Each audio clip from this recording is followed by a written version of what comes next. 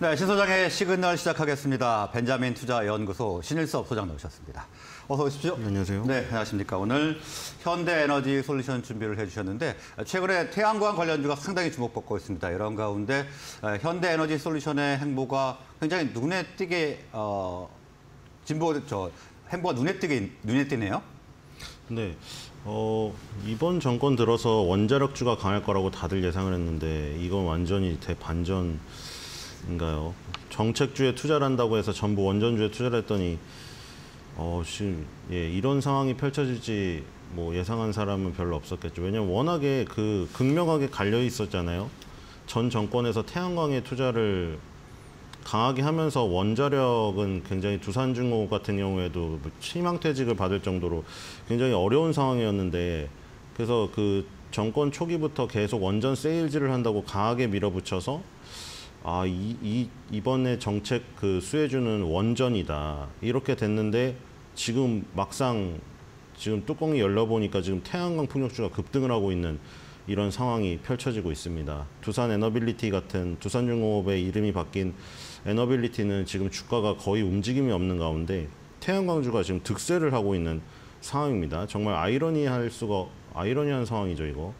그래서 태양광 풍력을 좀 줄이고 원전 비중을 늘리겠다고 한 정책 그리고 해외 유럽에서 세일즈 하겠다 이 부분보다는 그 유가 상승과 어 신재생 에너지 쪽으로의 어떤 유럽 전체적인 어떤 움직임 이런 것들이 우리나라에도 영향을 미친 거라고 생각이 되고요. 한화솔루션이 어, 실적을 좋게 발표한 것도 사실이고요. 하, 하나솔루션은 이제 분야가 네 분야 입니다. 물론 하나 케미칼 그리고 하나 그 큐셀 이렇게 두 개가 제일 투톱이긴 한데 소재 부분도 있고 하나 갤러리아 부분도 있기 때문에 어, 온전히 그 태양광 사업을 하는 그 구조라고는 볼 수가 없죠. 하나 케미칼의 그 플라스틱 이쪽 화학 쪽이 별로 좋지 않았기 때문에 그게 상쇄되었고요. 현대 에너지 솔루션은 매출의 90% 이상이 다 셀 모듈에 집중되어 있기 때문에 이 부분에서 굉장히 강력한 모습이 나타났다고 볼 수가 있겠습니다. 2016년 현대중공업이 4사로 분할했을 때 현대중공업, 현대로보틱스, 현대건설기, 현대일렉트로 일렉트릭으로 인적 분할이 되었습니다. 이, 렇게 인적 분할을 하면은 그 기존 주주들이 네 개의 주식을 다 갖게 되기 때문에 굉장히 선호하는 방식이죠. 요즘에 최근에 일어난 물적 분할들은 그렇게 신규 상장의 그 단계를 거쳤기 때문에 굉장히 그 반발이 심했었던 것이에요. 그래서 현대중공업이 4사 인적 분할을 했을 때 태양광 모듈을 다루는 친환경 에너지 사업을 담당하는 그린 에너지 사업 부문의 자회사로 분사가 되었던 현대 에너지 솔루션이 나중에 상장이 되었고요. 국내 시장이 대부분 그 태양광 모듈 전면으로만 발전하는 방식이었습니다. 근데 이제 현대 에너지 솔루션이 전면적으로 기존의 설비를 다 갈아치우면서 양면형 모듈로 어떤 선구자적으로 나섰죠. 그게 이제 빛을 발하고 있는 것이고요. 양면형 발전을 하면 당연히 뭐 태양광 빛은 땅에서 뽑아도 나오지 않기 때문에 하늘에 떠 있죠. 그러니까 당연히 태양을 태양을 보고 해바라기처럼 딱 서 있습니다. 근데 왜 양면형을 했느냐? 반사 반사되는 반사광까지 흡수해서 쓰려고 지면에 반사돼서 나오는 것들까지 뒷부분에서 발전을 할 수 있는 부분. 그래서 양면형 발전 기술을 도입했고요. 패널 내의 셀 집적도를 높여서 출력을 크게 향상시켰습니다. 그리고 충북 음성공장에 2020년 5월에 양면 발전 실증 설비 설치 발전 효율을 검증해서 여기서 이제 검증된 것을 다 상용화해서 적용하기 시작하는 것이죠.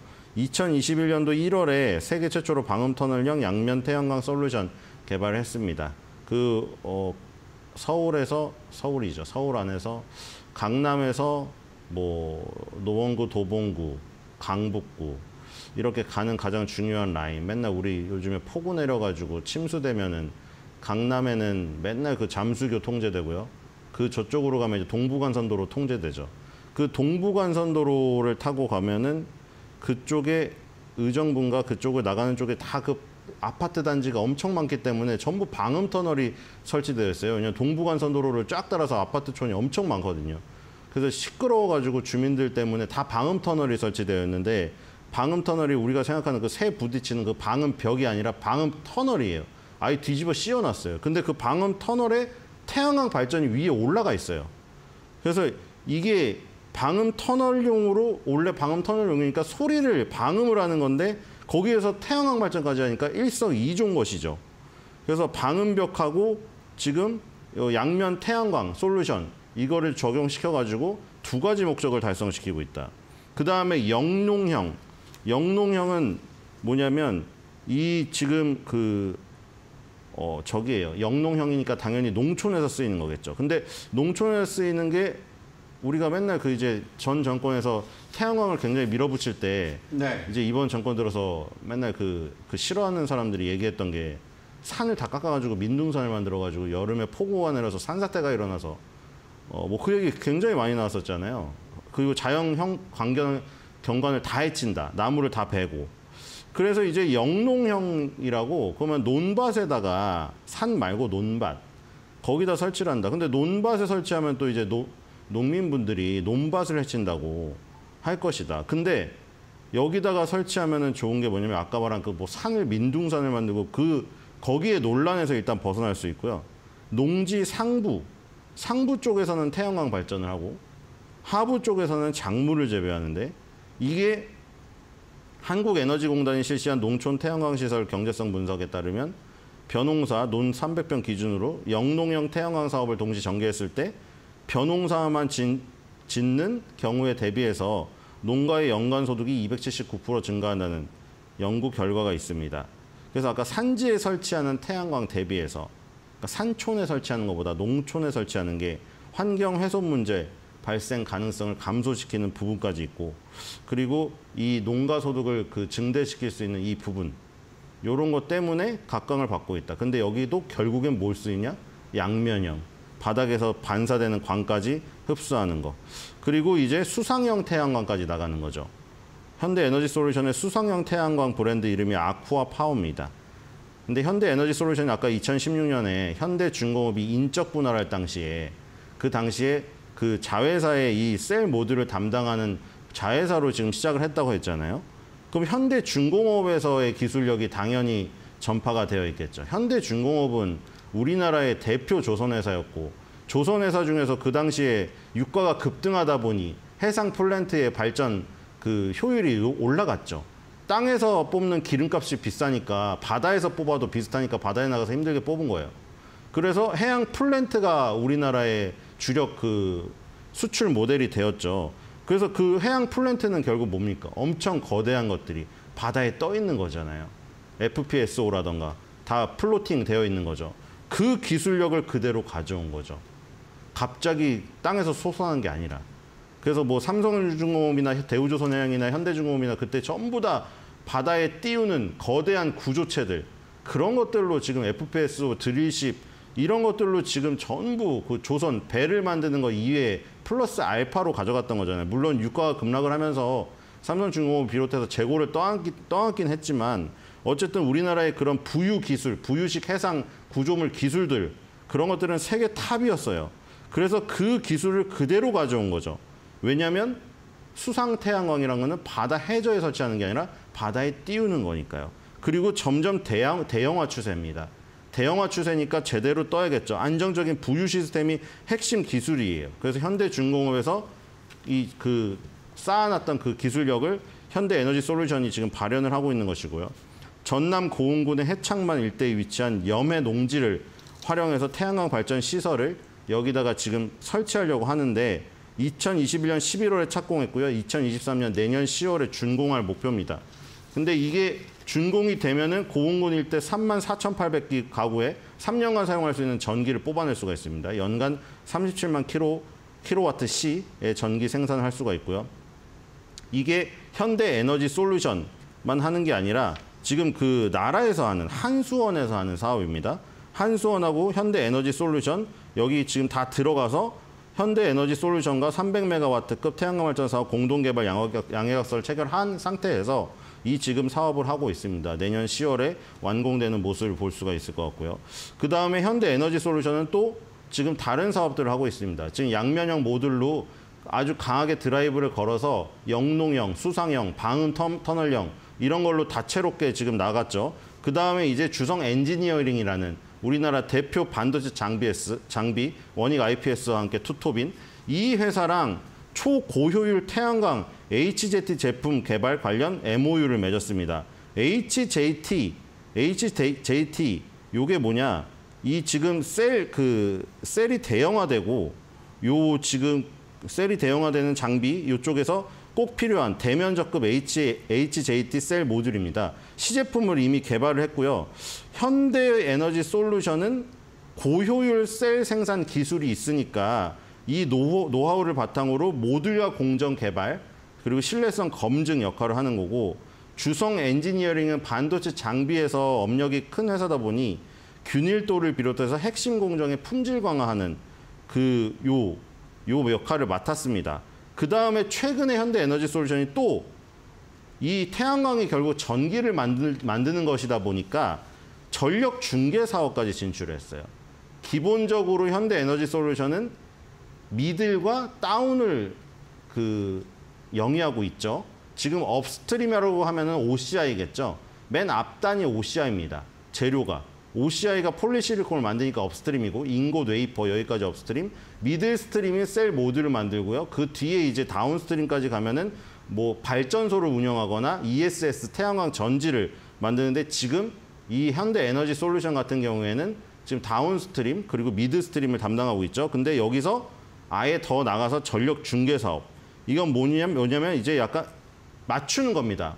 우리 뭐 축구 승부 맞추듯이 뭐 그런 승부는 아니지만 재생에너지 발전량을 하루 전에 예측을 하는데 일정 오차율 이내로 맞추면 기존의 전력 수입 외에 추가 이익을 제공합니다.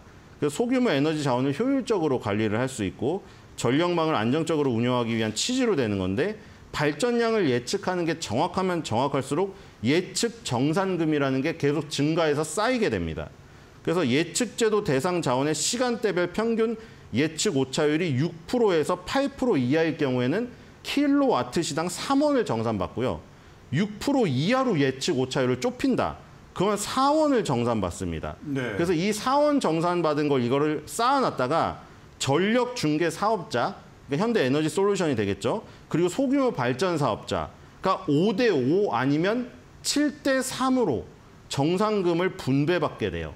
그러니까 이거는 현대 에너지 솔루션이 기본적으로 하고 있는 메인 사업의 플러스 알파로 가져갈 수 있는 부분이기 때문에 현대 에너지 솔루션은 정말 다양한 사업을 통해서 OCI가 하고 있는 그 upstream 그쪽만 제외하고 모든 것을 다 하고 있다고 보시면 될 것 같습니다. 그래서 현대 에너지 솔루션이 순수하게 태양광 쪽으로 사업 구조가 이루어져 있기 때문에 이 사업 구조가 순수, 순수하게 이쪽으로 이루어진 것을 원하시는 분이 현대 에너지 솔루션 하셔야 될 것 같고 하나 솔루션을 하시는 분들은 아무래도 화학 업종에 왜냐하면 매출이 거의 1조 단위로 두 개가 비슷하거든요.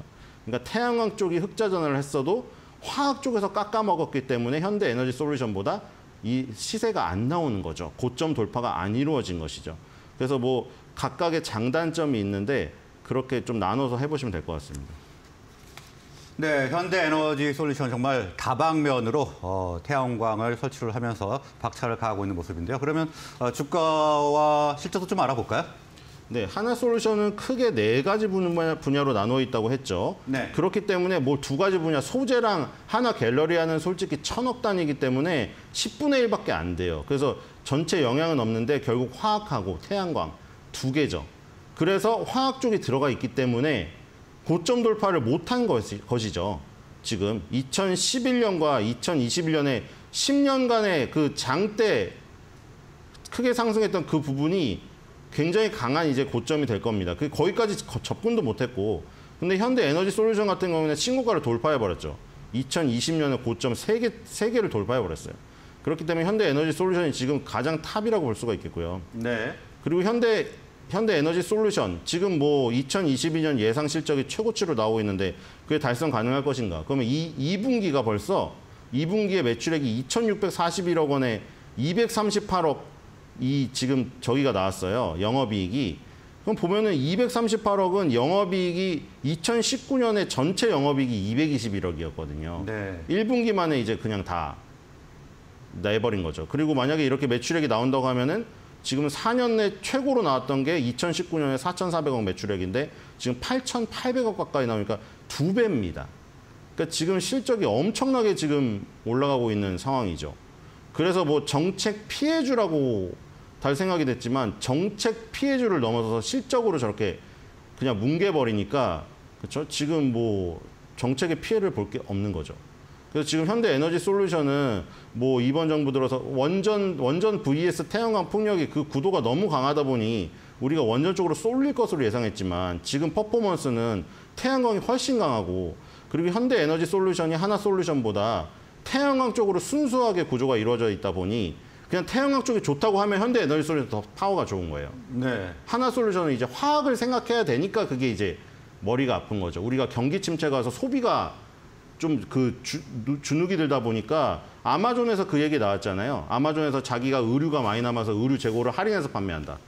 의류의 원료가 다 폴리에스테르. 그다음 우리가 물을 덜 사 먹으면 물에 페트, 폴리 폴리프로필렌, 에- 폴리에틸렌 이런 것들 그런 것들의 재료를 만드는 그 화학은 안 좋을 수가 있는 거죠. 나프타 가격은 급등을 했죠. 유가가 올라서. 그래서 마진이 축소됐기 때문에 그 부분을 해- 또 생각을 하지 않을 수 없기 때문에 그냥 단순한 걸 좋아하는 사람, 태, 태양광이 그냥 뿜어, 나, 뿜어 나온다. 그럼 현대 에너지 솔루션의 파워가 좋은 거죠. 지금 한화 솔루션을 하- 하시는 분, 분이라도 현대 에너지 솔루션의 흐름을 보면서 해야 돼요. 왜냐하면 지금 얘가 1등 주기 때문이죠. 그리고 OCI는 아예 결이 다릅니다. 네. upstream 분야기 때문에 지금 한 오늘 이번 달에 뭐 얘기 나온 거면 OCI까지 보면 OCI는 이번 달에 음봉을 맞고 있어요. 뭐 8월 달에 이제 시작이 되면 7월 달에 혼자 음봉이 나왔죠. 얘는 재료를 만드니까요. 중국에서 오- 폴리실리콘 가격이 너무 급등해서 정부에서 지금 개입한다는 소식이 나왔습니다. 그러니까 폴리실리콘 하는 OCI는 좋지가 않죠. 근데 폴리실리콘을 재료로 하는 한화솔루션이나 현대에너지 솔루션은 마진이 늘어나니까 좋은 거죠. 태양광 value chain 안에서도 upstream, middle stream, downstream 이렇게 갈리고 있기 때문에 지금 태양광이라고 모든 게 가는 게 아니에요. 그러니까 지금 OCI를 하시는 분이더라도 현대 에너지 솔루션의 주가를 보면서 해야 된다는 얘기죠. 네, 일단 어, 사업 구조가 아, 현대 에너지 솔루션은 태양광적으로 순수하게 구성이 되어 있기 때문에 태양광에 주목하는 분들은 현대 일렉트로닉, 아, 현대 에너지 솔루션을 어, 주목을 할 필요가 있다 이렇게 말씀을 해주셨습니다. 자, 오늘 말씀 여기서 마무리하겠습니다. 고맙습니다.